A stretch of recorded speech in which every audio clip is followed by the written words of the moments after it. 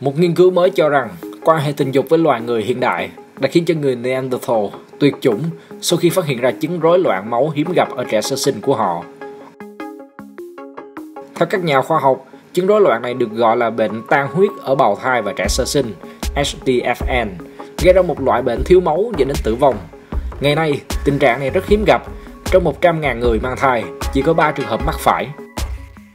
Các nhà khoa học cho biết, chứng HDFN ở trẻ sơ sinh sẽ gây ra khó khăn cho việc sinh sản ở người Neanderthal và tỷ lệ sinh con thành công sẽ giảm dần.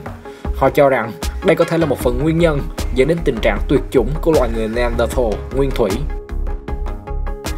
Stefan Maziares, một chuyên tác giả của nghiên cứu tại Đại học Aix Marseille, nói với trang tin Daily Mail rằng tình trạng này hẳn là khá phổ biến ở những người Neanderthal. Trong khi nghiên cứu giúp giới khoa học hiểu được nguồn gốc của loài người chúng ta, họ cũng khám phá ra nguy cơ đối với người Neanderthal. Sau khi đã xuất hiện nhiều suy đoán về việc loài này đã tuyệt chủng ra sao, các giả thuyết hiện có để giải thích cho sự biến mất của người Neanderthal tập trung vào nguyên nhân cạnh tranh với con người hiện đại hoặc biến đổi khí hậu. Nghiên cứu này hiện đưa ra một khả năng khác.